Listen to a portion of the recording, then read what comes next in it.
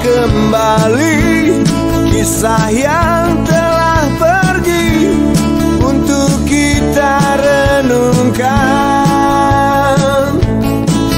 Andai semua yang terjadi takkan habis di sini.